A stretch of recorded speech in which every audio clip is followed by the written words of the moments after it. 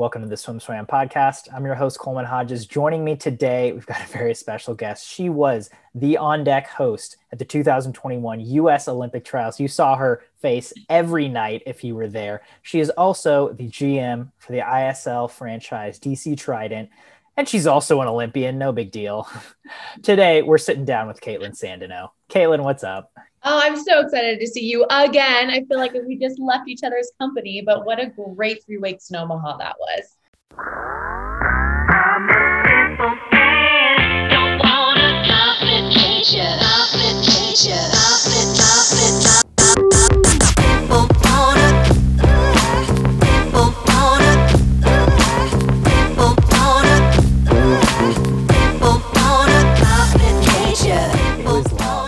but I think your days were longer than mine. So we're, we're sitting down with you today for two reasons. Um, the first of which is that we just want a behind the scenes look at, at Olympic trials and what putting on a show like that is like. It's not a swim meet, right? Olympic trials is like so much more than just people swimming in a pool back and forth, which is what most swim meets are.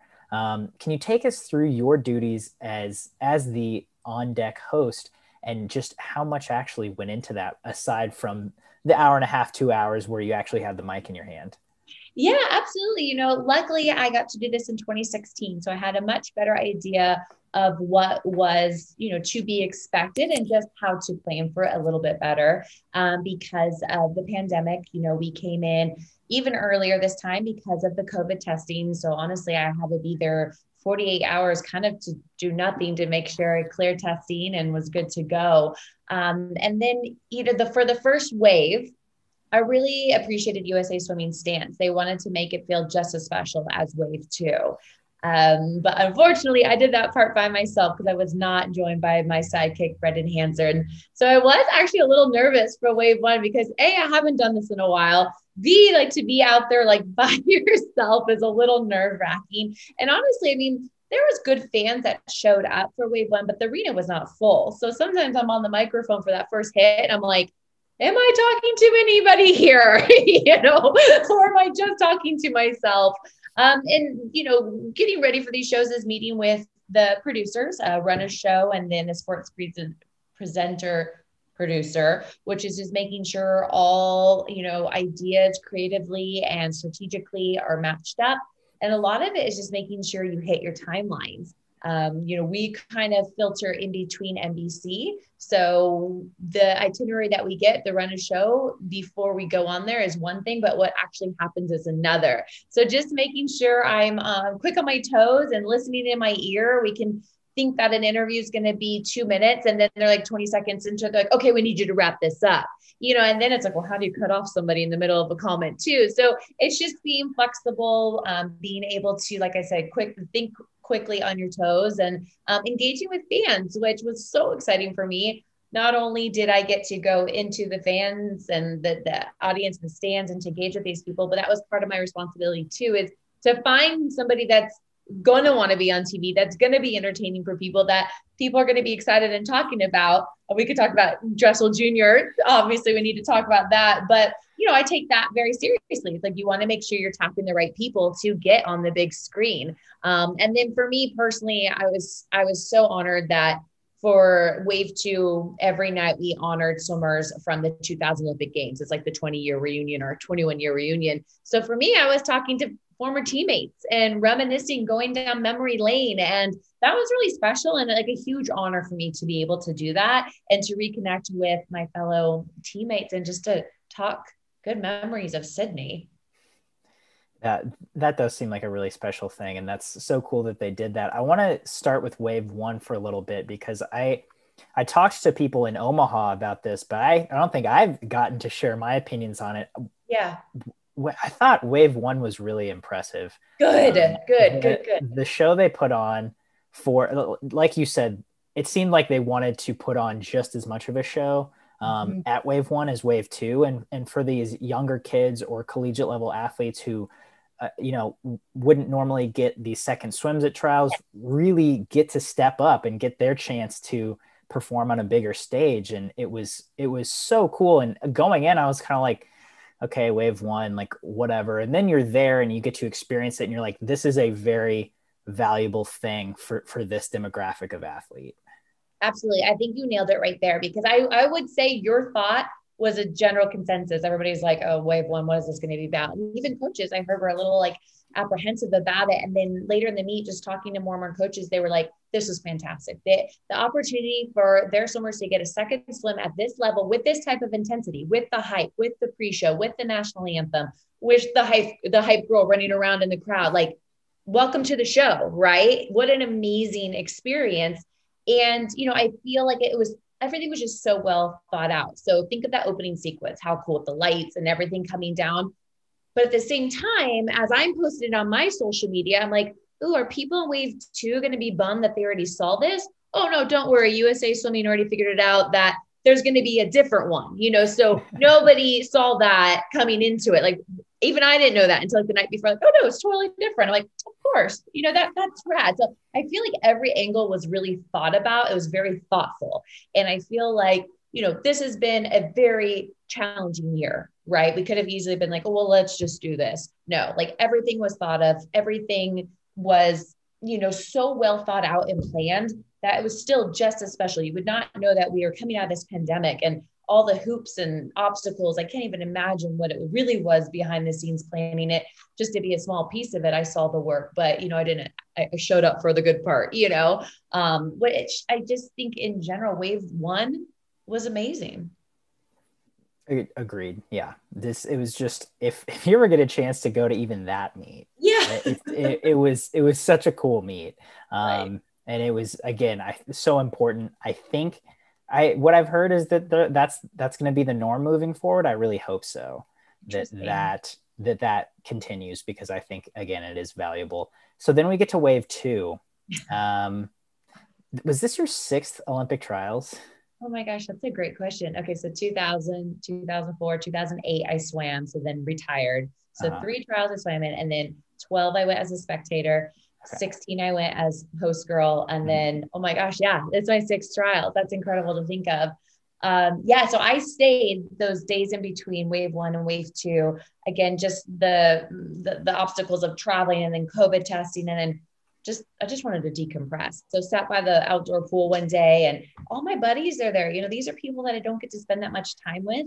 Um, and even people within production were like one tight knit family and one lives in London and one lives in Australia. Like I don't see those guys much, you know. So I really enjoyed my time in Omaha. I, I love the city. I love the town. I think it's we're so welcomed there. The hotel, the staff, the the restaurants were so um, they're just great hosts. Um, and then I was really blessed that my middle sister came out with my nephew, who is 16 now and really starting to get very dedicated to the sport. Uh, just switched over the Mission Viejo Nadadors, which is so trippy for me because that's where my college coach, Mark Schubert, is now. So my nephew's on this program. And honestly, I, I truly believe that him being at this meet had a life changing impact on him. I mean, he, he's going to dinner with Elizabeth Beisel, his new best friend, and he's like, Beisel, I want to be here in three years. And I'm like, whoa, whoa. Like he's like, he, he's kind of like a later bloomer into the sport anyways. But to me, that's so special to see somebody in my family get so impacted by this meet. I can't help but imagine that every young athlete that was sitting in those stands, like my nephew, were like, I want to be here one day. And to me, that was incredible to share that with my nephew. Um, it's like a special bond that I'll never forget, introducing him to all my friends. I mean, he got a picture with Michael Phelps, Ryan Lochte, Brendan Hansen, Elizabeth Beisel is like his new crush. Like the, the list goes on and on. He swam with Josh Davis. And then my middle sister being there because she's been to all my trials as well. She went through my whole career with me. And then she just beat cancer. And then now we're back on the road traveling together again. It was just really special on a personal level. And then professionally, like I can even put into words how much I enjoyed my role at this meet. Like I am so honored and privileged to be thought of for this role for this role. Um, you know, like I said in 2016, I didn't really know what I signed up for, and I got there the night before, and they're like, "Okay, this is what you're doing." I'm like, "Oh my gosh, I'm like a Team USA cheerleader," you know. And then it's like I just put this different hat on, and I'm like the hype girl that's getting the fans like, "Let's get rowdy," you know, and the energy in the arena makes it so easy to have that energy every single night. Because i think it's important like i can't let my energy die as we're on like day four or five you know? It's like we got to set the tone because the athletes feed off of the crowd you know? They hear it they feel it and we were at um you know the, the occupancy was less.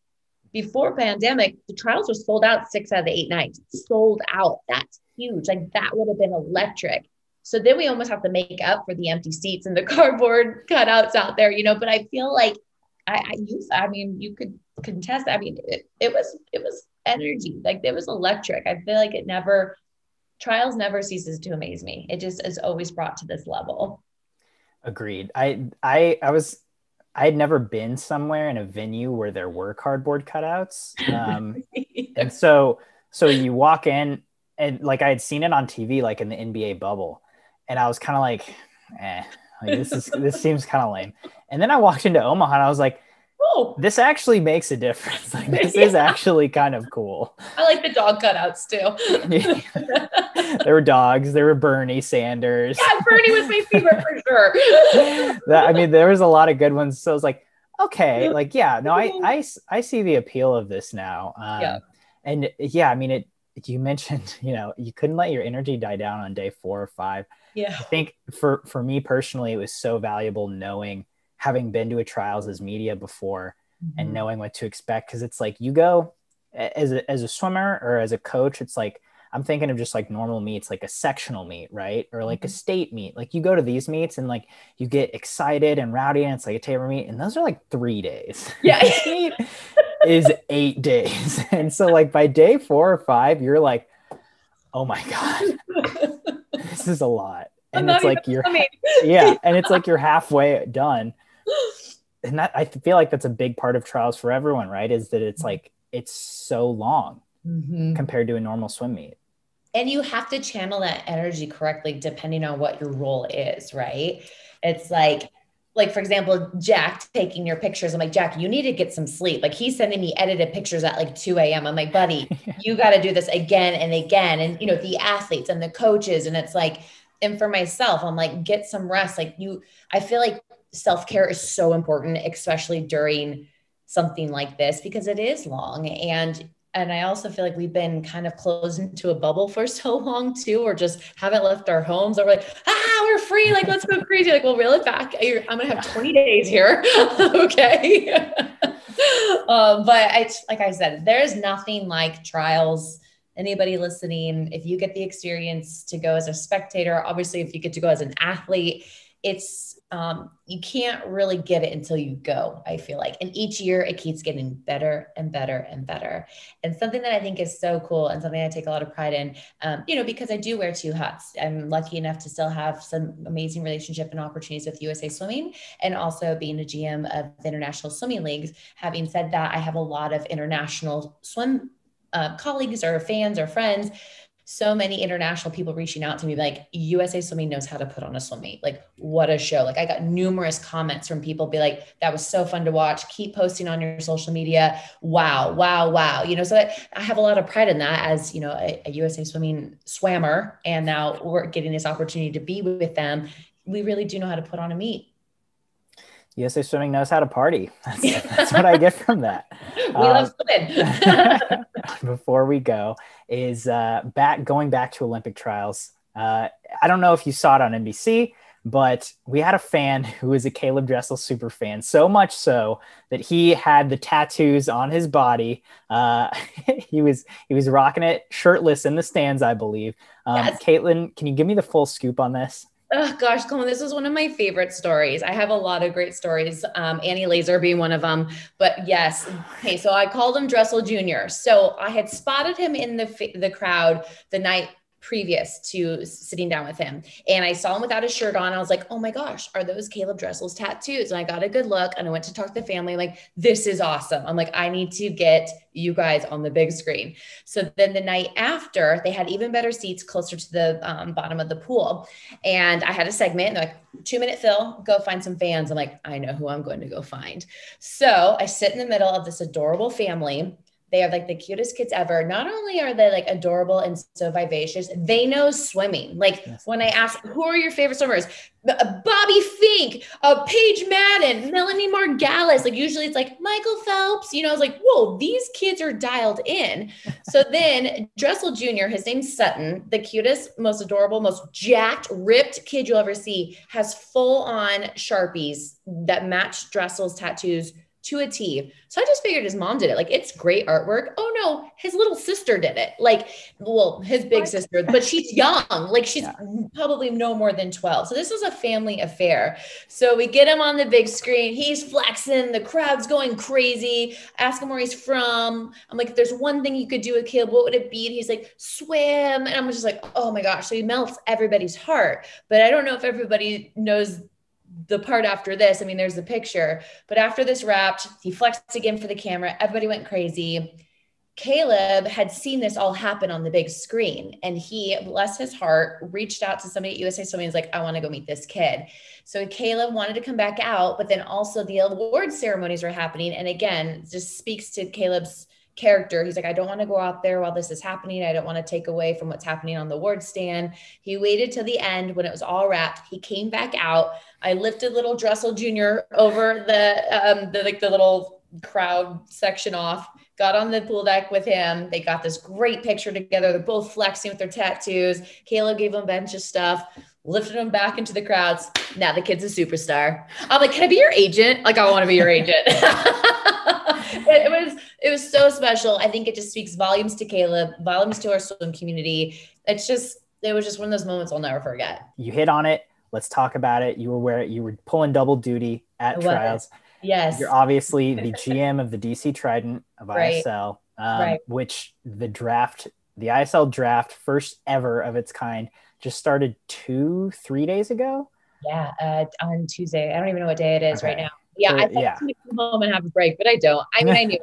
But yeah, I was double duty there. You know, in the mornings, I was putting my ISL hat on and getting as much ISL work as I could in the mornings, which works well because, you know, most of everybody is many time zones ahead of us. So getting up and cranking through workout uh, the work that you know we need to get out. Um, I am so blessed with an amazing head coach, Cindy Gallagher, who is so dedicated and so ready and committed and so passionate and doesn't do anything like 50%. Like she does everything to the max. So she's been doing a crazy amount of research uh, leading into this draft. And then um, an amazing team manager, Brian Dieters, who knew I was going to be on the road, knew I was going to be, uh, you know, pretty busy and divvying up my time. So, what do you need? What can I help you with? And we just worked really well together and just, you know, getting ready for the draft, getting ready, securing my staff, which is huge. You know, this is a big commitment. It's a big ask. Like, can you be gone for at least five weeks? You know, if the 10 teams is guaranteed that, then it goes to eight and then you be gone for another three weeks, et cetera, et cetera. Um, so yeah, I'm really excited that I was able to see people in person at trials. Um, our assistant coach, Susan Teeter, she was on deck the second uh, for wave two. So being able to connect with her and chat with her. And um, I'm really, really excited that um, I was able to secure Cullen Jones as an assistant coach. And that happened at trials. It was something that was in the works for quite some time. And it was really cool because um, him, Ryan Lochte, and myself were chatting, and we go way back, the three of us, and have a great friendship and share a lot of memories together. And Cullen goes, he, he shared the good news right then and there. And I'm just so excited and and be able to connect with Cullen in person and have a meeting about like this is what's going to look like this is your role this is what I'm so excited for you to do and and to talk sponsorships. You know we DC Trident the league we need sponsors and so seeing what makes sense what's good synergy what's good partnership and just getting those brainstorming going. And then you know as I sit in the stands with Brendan you know, I'm very like I'm trying to be so unbiased, you know, because literally we are just rooting for the team. We're, we're looking forward to great swims, but then you know, there's a side of me that has you know that personal connection with anybody that's been on my team. So rooting for the Zach Apple, Zach Harting, um, you know, it's it's incredible to see when Jay Litherland gets his hand on the wall for a second and, and rooting for like Bethany Galat and Emma Barksdale. Like I have that that personal connection there, but try to stay very, you know, even keel the whole way through. And then the other side of me, like some of these guys I used to swim with are still out there. Nathan Adrian, Ryan Lochte. I mean, Allison Schmitt started training on Club Wolverine when I was kind of on my way out and she's on her way in. So I have so many different personal ties to these athletes. And then being able to be in this capacity wearing a couple different hats is I mean, it, it's it's really special, but it just you know gets tiring. yeah, I don't, I don't know how you do it. Honestly, I've, I've I've been trying to lay as low as I can the last few days, and I'm still like, sure. I, am at like seventy percent. I think like, I'm, I'm, still not there yet. Still trying to charge up. exactly. Um, so so I have to ask you. You know, we're in the draft now. Um, how do you feel like it's gone for DC Trident, and and have there been surprises? Have you know? Has I know it's only been two days, but it's like, yeah. what what has this process been like so far to navigate as a GM? You know the the retaining the 15 athletes is very challenging um, because because of my personality and my mentality. Um, I have a very hard time not saving them all, you know, because I I have really amazing human beings on my team. But then as a competitive person and as a GM and as a business person, we need to be faster. We can't be ninth again this season. And, and I don't want to be ninth again this season. Um, so I had to let let go, meaning that they're not my protected athletes. Not to say that we won't pick them up or we can't pick them up, but that's hard, you know, because there's some really awesome people that I wish I could save all of them and bring them back. But I mean, Coleman, we have like over 900 people that want to be in ISL this year and the minimum is 32 on a team. So that's 320 are going to make it. There's going to be a lot of disappointed people. And then obviously there's a new crop, there's a new crop, you know? So, um, I, I always knew, how should I say this? I always knew Zach Apple was really fast. And season one, he did good. Season two, he was a different person. Like he was so dialed in. He was so confident in the water and out. A little bit more of a vocal leader than he was first season. And and I think seeing him get his hand on the wall every time that he swam the 100 freestyle in Budapest first, that had to do something for his confidence. So I had a lot of confidence in Zach Apple coming into this meet, but you don't know until it's done. You know what I mean? And then somebody like Zach Harting, I mean, for uh, Zach needs to taper. He needs to rest. And in Budapest, he was crushing through like hard workouts and like he wasn't scoring us a lot of points. And then he rested for the final one. I'm like, there he is. There's the guy I recruited, you know. And then he goes to the U, uh, U.S. Olympic trials and he wins, you know. So those were. I wasn't sure how Zach was going to swim, you know, and so that made me secure Zach, you know. So, um, having said that, you know, I have a lot of Olympians on my team so far already but that's a quick turnaround. You know, they're going to be in Tokyo, come home for a few days, like pack your bags, are going to Naples. Part of me thinks that some of the athletes, yeah, yeah, some of these athletes that didn't make the team, they might do better in Naples, you know, and, and I'm really proud and, and happy to share that um, people that follow Jacob Headley's career, just because he wasn't at trials doesn't mean he's not swimming. I'm keeping him. That guy is on our team. We are going to rock the road with him. He is swimming amazing right now. He's going best times in the 100 IM. He's like, maybe I'll swim that, you know? So that I think people might be surprised to see, oh, Jacob's still swimming. Yeah, he's swimming great. He just wasn't ready for trials, but he's so ready for the ISL.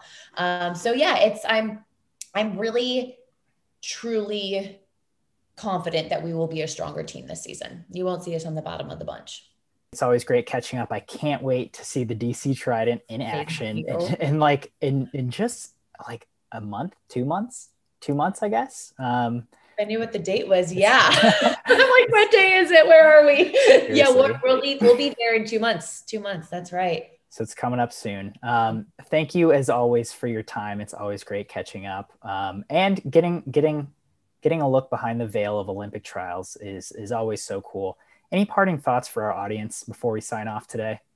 Oh man, I mean, I just I'm just really grateful to still be very um, supported and embraced in the swimming community. It's crazy to think my first Olympics was 20 year, 21 years ago. Um, and it's on, honestly just a huge honor for me to continue to keep my relationships in the swimming world. And just, I, I just feel so supported. And that really means a lot to me. You know, being the host girl is a little daunting. Like the night before I go out there, like I get like the same anxiety that I get like the night before swimming the 4 a.m.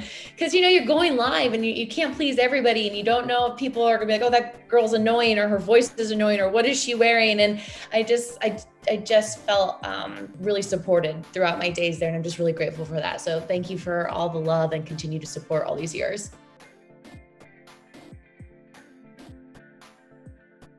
You've been listening to the Swim Swam podcast. Stay tuned for new episodes every week. You can take Swim Swam Podcast on the go by subscribing on your favorite podcast platform. Look for links in the description below and be sure to subscribe to our YouTube channel for more videos as well.